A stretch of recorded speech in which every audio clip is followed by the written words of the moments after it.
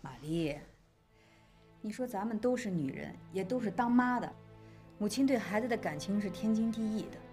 你说你想看孩子，我可以理解，但是你不能用这种方式啊。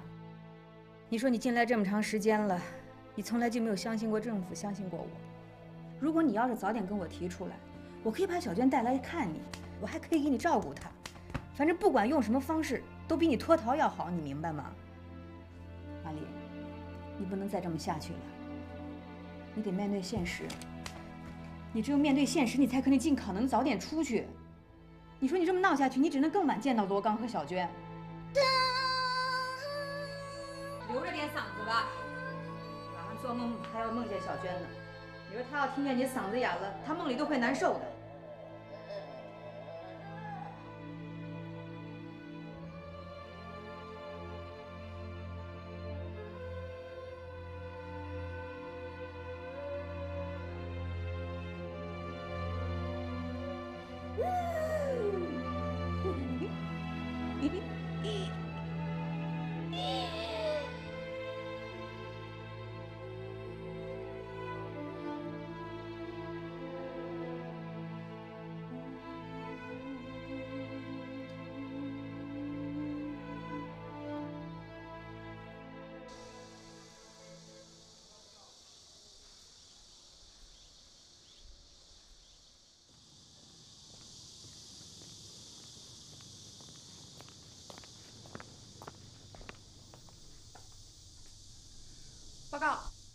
进来吧。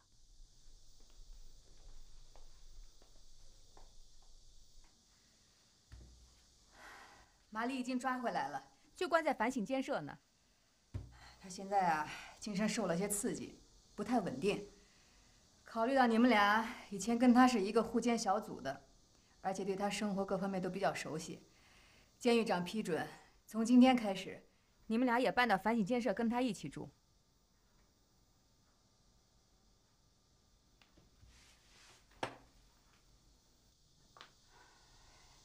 的任务呢？第一，就照顾好他的生活起居，想办法让他冷静下来，啊。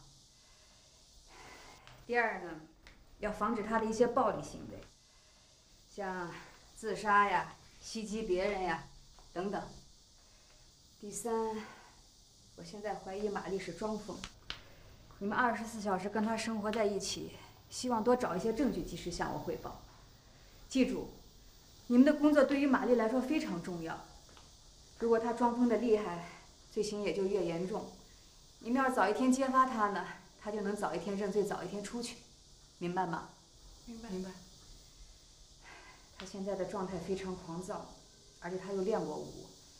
你们要是进去以后，可能有一定的危险。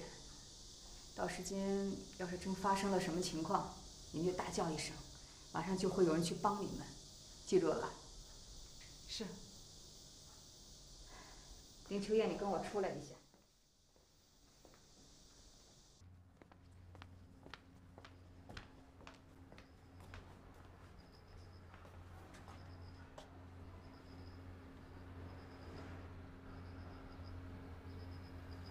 还有什么想法？报告张警官，没有想法。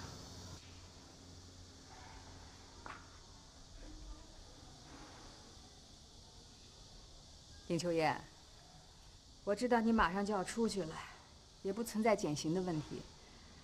不过呢，你以前一直都是纪委会的成员，什么事情都走在前头。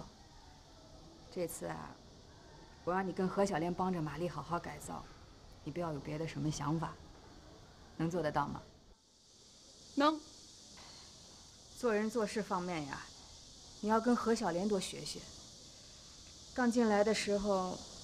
你也就大学毕业刚一年吧，一点社会经验都没有。没事了，多跟何小莲交流。你也得学会跟玛丽这样的人相处，别遇上什么事都爱耍个清高，还钻个牛角尖，明白吗？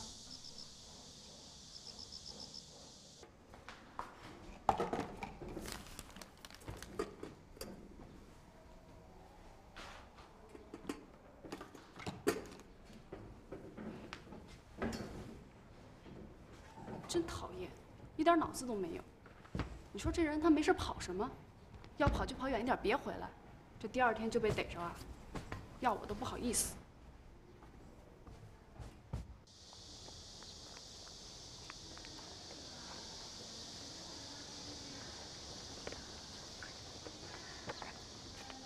这人要是没有文化呀，真是一点办法都没有。当初他一进来我就知道，跟他没法交流，没法沟通。你看他这事儿闹的，自己要加刑不说，还连累咱们俩一块进到小黑屋。何姐，怎么了？燕子，等你以后结了婚，有了孩子，你就会理解玛丽了。结婚，除非我死了。话可不能说那么绝啊！将来，你一定会找到一个疼你、爱你的好老公的。可你知道吗？孩子对一个母亲太重要了。我记得我出事儿那会儿，老公提出来跟我离婚，我当时就说：“你什么都可以拿走，但必须得把孩子给我留下。”你想，要是我知道儿子病了，我又不能见他，我得多着急呀！我也不能逃跑，那我真是，我跳楼的心都有。至于吗？你不会理解的。哥俩好啊，一点点呀，六匹手啊，八匹手啊，就报告进来，说，喝，没有事，你先喝喝喝。你们俩进来。哥俩好啊，一点点呀，八匹手啊，六匹手啊，七个巧啊，八个点呀，六个海呀。错了，喝，喝喝，来来。真难闻，这么大人了，整天不洗不换的，恶心不恶心？不要拿自己的干嘛呢放心吧，心里明白着呢。装什么呀？在牌坊装病是想讨好，在这装疯，指不定想干嘛呢。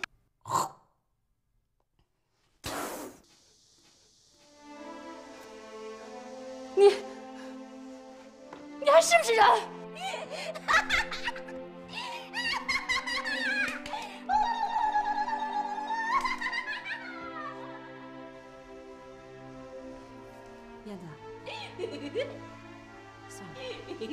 我来铺，你等会儿歇着吧。啊，生气。你别管，玛丽，你有本事跑前面别回来！就你这样，一辈子跑不出监狱。燕子，算了，你少说两句行不行？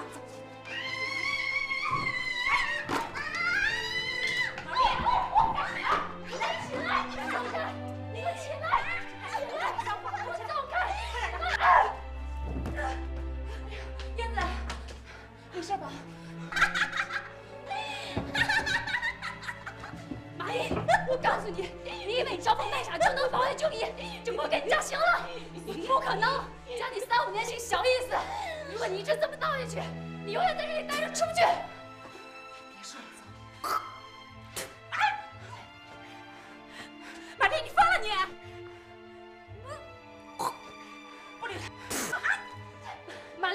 还这么抗改，至少得加你四年，你得在这耗八年。算了，都快四十的人了，老公肯定跟别人跑了，女儿也根本不认你这个妈。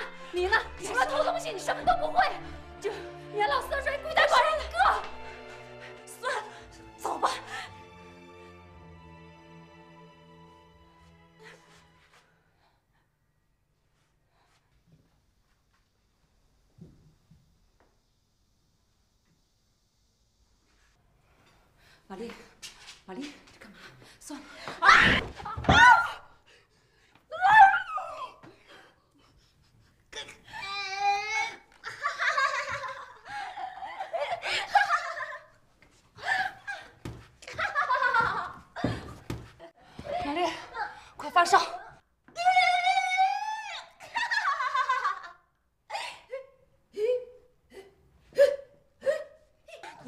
叫人，叫人，你可就罪加一等，你听见没有？快放手！你们撒个妞照着自己什么德行？玛丽，敢跟我玩阴的，被男人玩过了、用过了，你就把气撒在我身上。玛丽，有本事你他捅我一刀！谁生下来就是坏人，小林，他也是没男人害的。你去问问进来的姐妹，哪个没有伤心账？你去问问去。他刚才骂你不对，可骂人不揭短，你知道不知道？我知道你仗义，秦月诗，谁不知道你二姐呀？可你，可你没有这么欺负人的。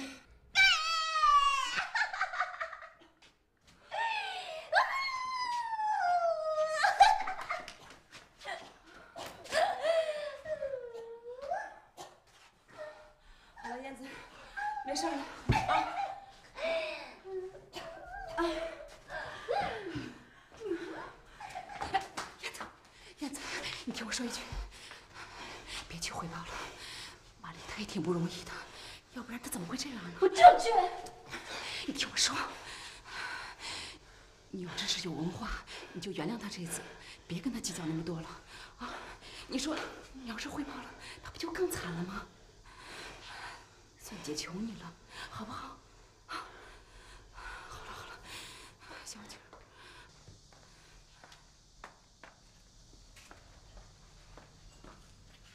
怎么了？报告郑警官，林秋燕她想家了，我正在劝她。玛丽怎么样？没事儿，他还那样。好，有事喊我啊。是。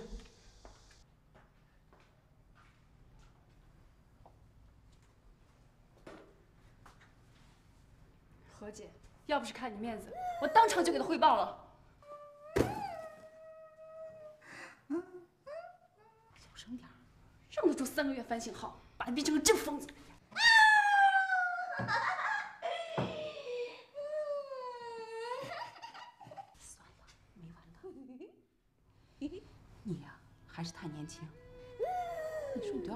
去了，老那么犟，那哪行啊？玛丽逃跑这件事挺严重的，咱们的任务是干什么？就是看着他，别让他出事就行。你说你还一直跟他对着干，不值当的。我知道，你从来没把自己当犯人看。说句不好听的，凡是进来的，谁都认为自己没罪。谁要是问我当初为什么拿公家的钱，我肯定会说，我是为了老公。老公跪在地上求我，公司快垮了，你说我能不帮他吗？可是咱们得明白呀，那不是咱们自己的钱，那就是不能拿，拿了就是犯罪，你有再多理由也不行。燕子，我知道这两年你心里一直很憋屈。你认为是那个男人脚踩两只船，先对不起你的，你也是一时冲动才误伤的他。可你当时要是冷静几秒钟，就不会干傻事儿了，你就不会有今天的牢狱之灾了，是不是？其实啊，我刚进来的时候，我也恨我的男人，可现在啊，我不恨他了，我就恨我自己。为什么呀，姐？因为我想明白了呀，我恨的那男人，他根本就不知道我有多恨他。你说，我恨他有什么用？姐，嗯你的度量真是太大了。不是我度量大，我只是觉得，只有宽容了别人，心里就没有那么多恨了，也就没有那么多抱怨了。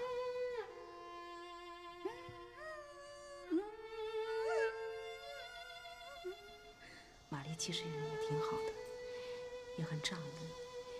你要不是说到他痛处，他也不会那么对你的。姐，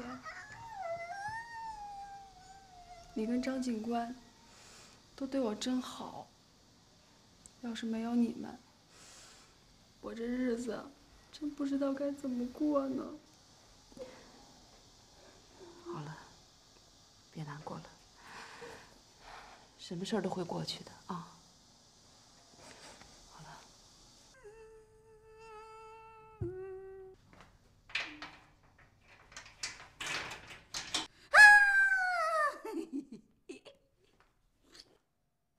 怎么样？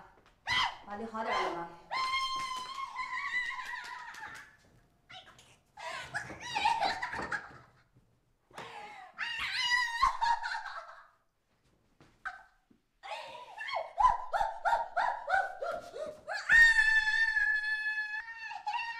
好了，玛丽。哎呦，起来！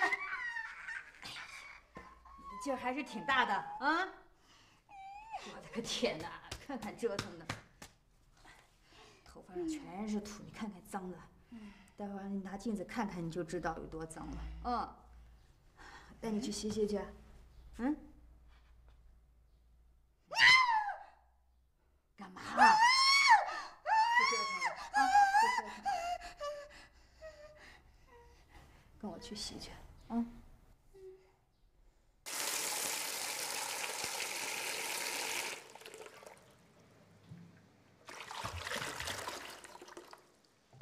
来过来。现在这屋可就剩咱们俩了啊！听话，来低下来，来，听话，给我低下来，来，来，低下来，来，来，舒服吧？嗯？多长时间没人给你洗头了？最后一次是谁给你洗的头啊？是罗刚还是你妈？你要是早点出去，罗刚肯定会给你洗头的。不过你妈可就老了，你出去以后要好好孝敬她，报答她。到时间该是你给她洗头了，是吧？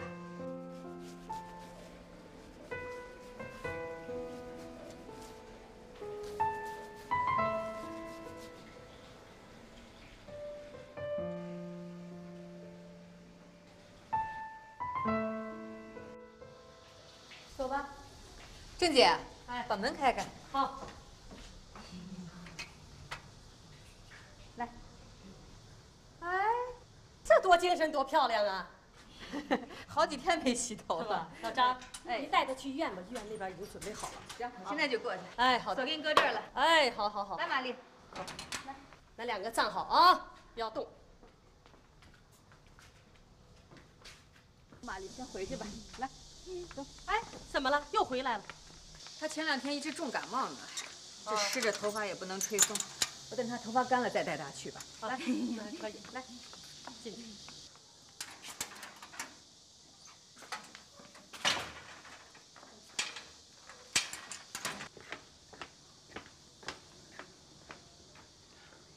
我要是有张警官这么个姐就好了。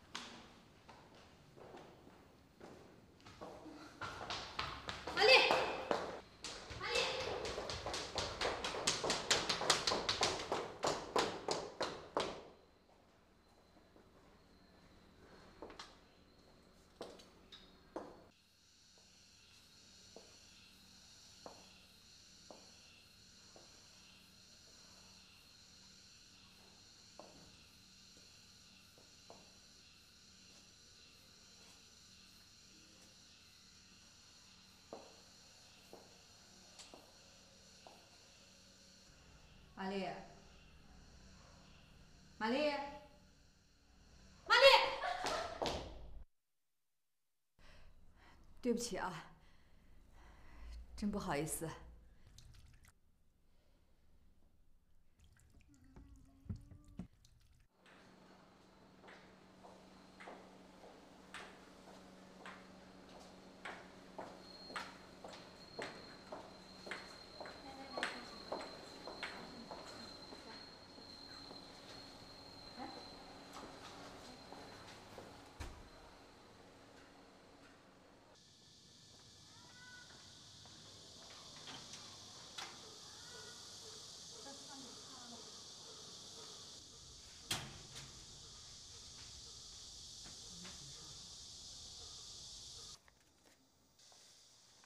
这是刚才的诊断结果，我也找大夫谈了。从这些诊断结果来看呢，你没有任何精神方面的问题。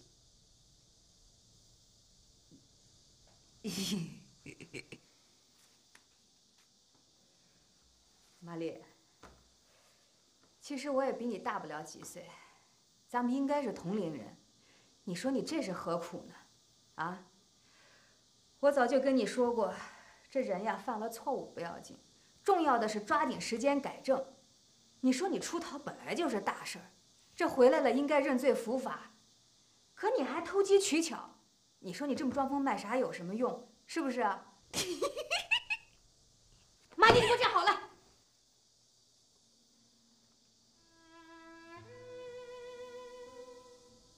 你好好照照镜子。啊！你看看你的眼睛，看看你的眼睛，这眼睛不会说谎的。你说这是个疯子的眼睛吗？啊，疯子知道什么时候该哭，什么时候该笑，是不是？你好好看看。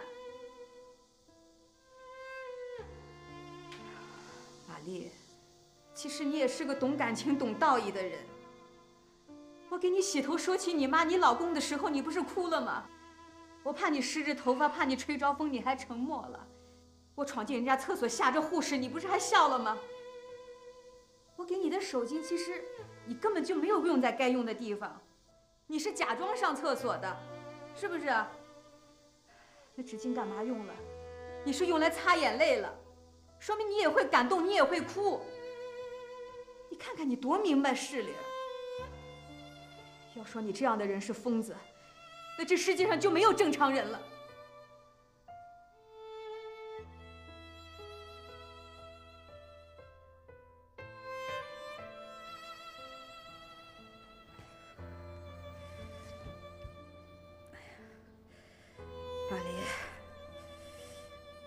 你真的别再胡闹了，你要好好改造，这样对你只能有好处。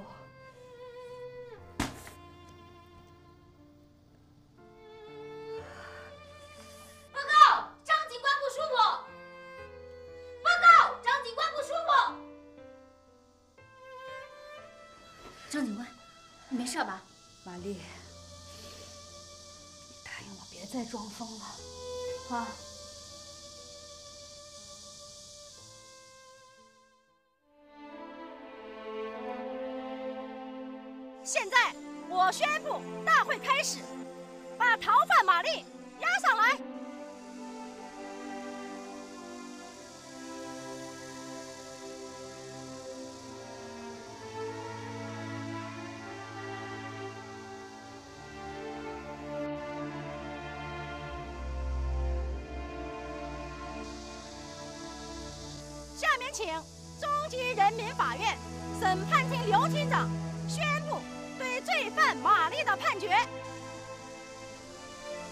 市中级人民法院刑事判决书，二零零零年新法刑判字第九十五号，被告人马丽，现年二十八岁，家住新月市五一大道五十三号。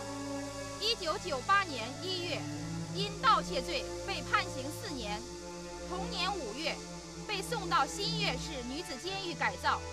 改造期间，该犯于二零零零一月十八日脱逃，二零零零年一月十九日抓捕归案，故根据《中华人民共和国刑法》第一百六十一条、三百一十六条之规定，以脱逃罪判处马丽有期徒刑一年六个月，与原刑期合并执行，有期徒刑四年。如不服本判决，现收到判决书之日起十日内向本院提起上诉。宣判完毕。下面有服刑人员代表发言。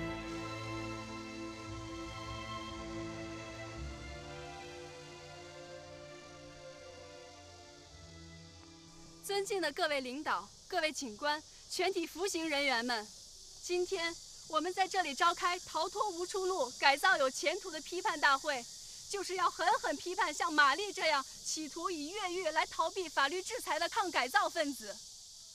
逃脱是重新犯罪，逃脱是死路一条，逃到天涯终是囚，只有改造是出路。服刑人员们，玛丽是我们中的败类，是我们的耻辱。我们一定要以她为戒，要以积极的改造来回报挽救我们的警官，以实际的行动重塑自我，争取早日新生。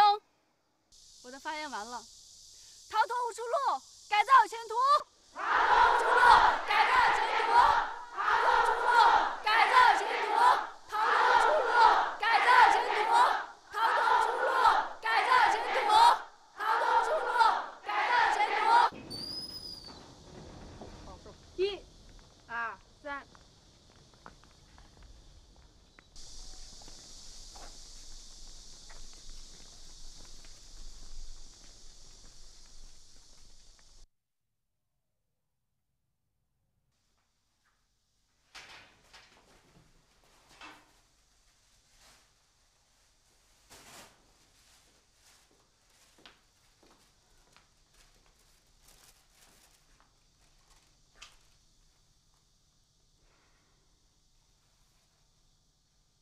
怎么了，玛丽？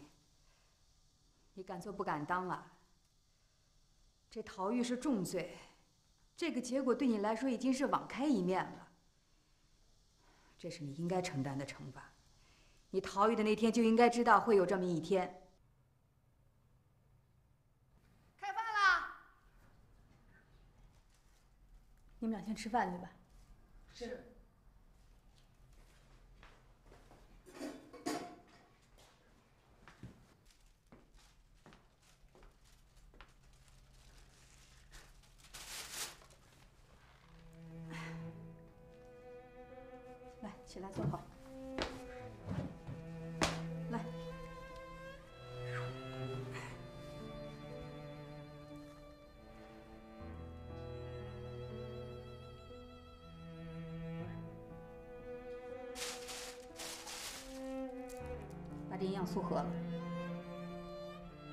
是给你喝的，这是给你妈、你丈夫、你小娟喝的。你把身体养好了，这才是对他们最大的报答和安慰。明白吗？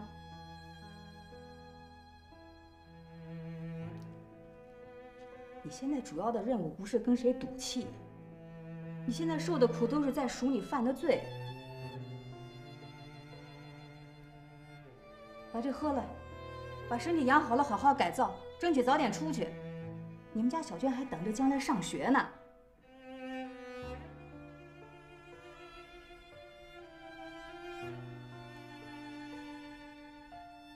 我跟你说，玛丽啊，我上次给你买的营养素也是这个目的，可是你呢？你利用我买的营养素，你去越狱。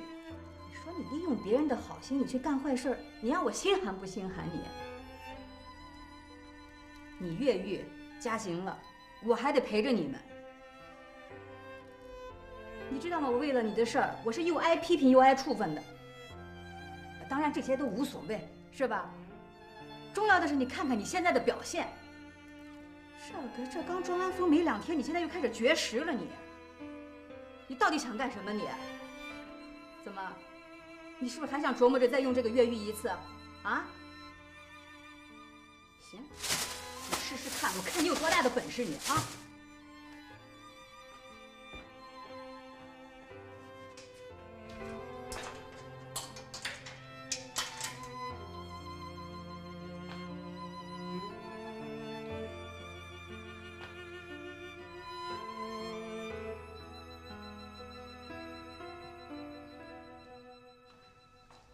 小张，最近身体怎么样啊？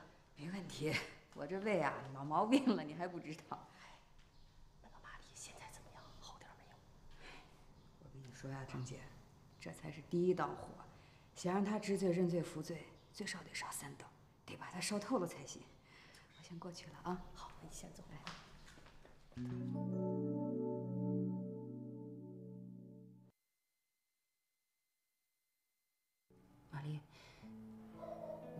太多了。说是四年时间，其实一晃就过去了。你都往好处想想。你又聪明能干，监狱啊肯定会给你减刑的。你在看守所不是已经待一年了吗？这就还有三年时间。嗯，再加上出入监教育前后六个月，这就还有两年半。你要是好好表现，还会给你减刑的。实际上你在监狱呀，也就待两年半时间，很快的，啊。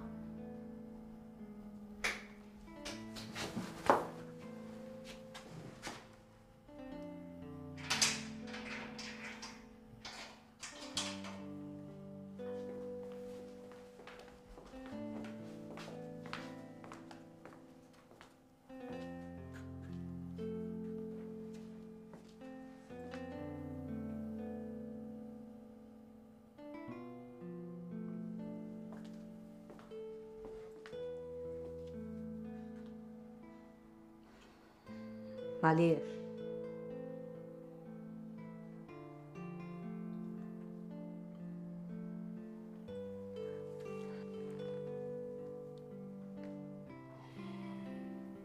玛丽，对不起啊，我下午真不应该对你那种态度，不应该对你那么凶，你也别太难过了，别生我的气好吗？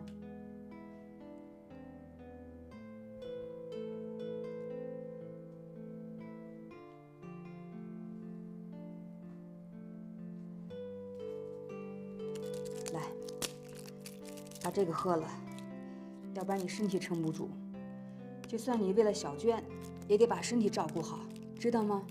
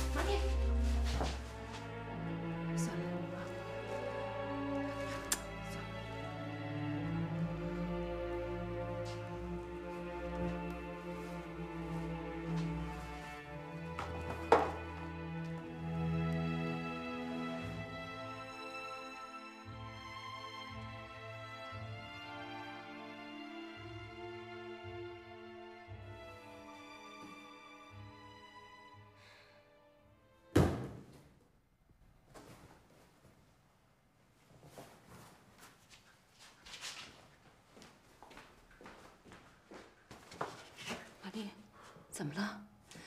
没事吧？玛丽，何姐，谢谢你啊，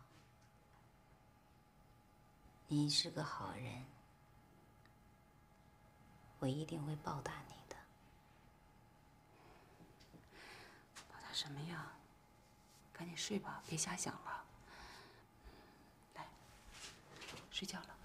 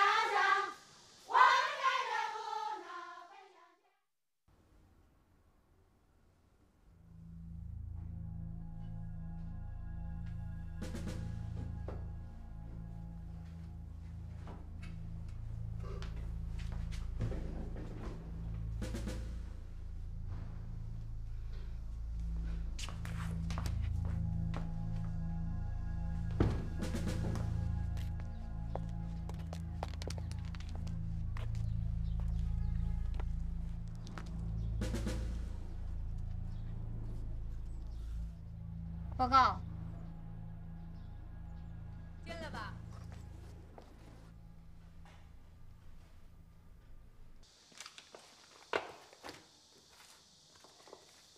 说吧，又是什么事儿？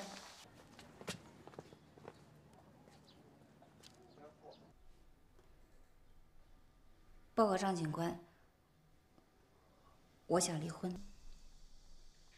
什么？你说什么？我要离婚。为什么呀？这别人最怕的就是外面的老公提离婚，你自己倒提出来了。人罗刚对你多好，为什么？张警官，我想问一问，像我这样的身份，能不能提出离婚？可以呀，你并没有被剥夺政治权利，你有权提离婚，从法律上来讲也没有什么问题。可是我不明白你为什么。张警官，您别问了，我想见见罗刚，我我想跟他离婚。你站住！谁让你走了？说说，怎么回事？你又要跟我耍什么花招？你，嗯？阿丽，看看，你现在都是一级严管了，你只有表现好了才能带接见呢，知道吗？你别因为想家、你想丈夫、想孩子，你来跟我玩离婚的把戏，你啊！你再这么闹下去，今年减刑可就没希望了，知道吗？走吧，别听了。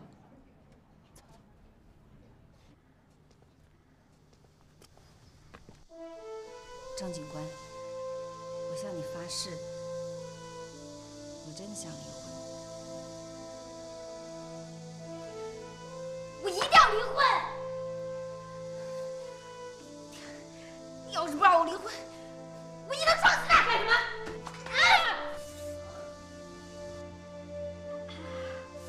啊！你你怎么了？我叫医生去。别别别！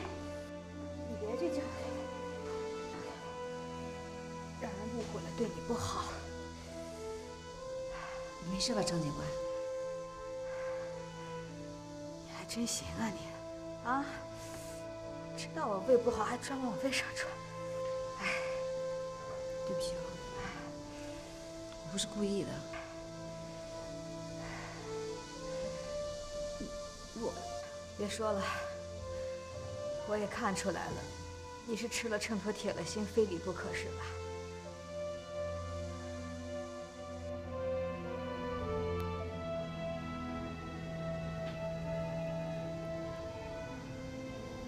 哎，你说这玛丽可真行，她可真敢干。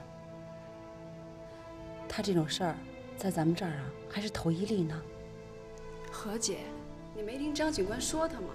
她就是耍花招，想见见老公。这见着了，人家又不同意，就算提前再见一次了。不会，她不会拿这种事儿开玩笑的，瞎说。何姐，玛丽肚子里的花花肠子啊，可多了。你呀，哎，快来这！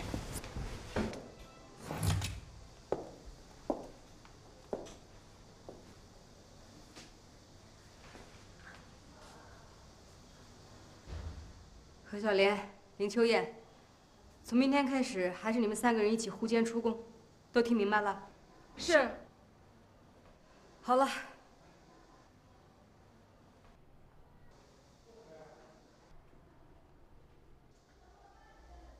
你们俩出来一下。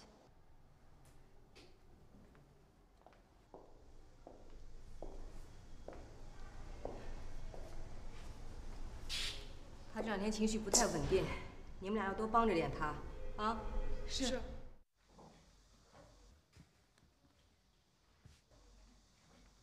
哎，歪了歪了！你在画什么呢？想什么呢？你都，你这么画，你知道得浪费多少步吗？你看看你画的，一副心不在焉的样子。别说了行不行？马丽没事吧？你去台部吧照我来。啊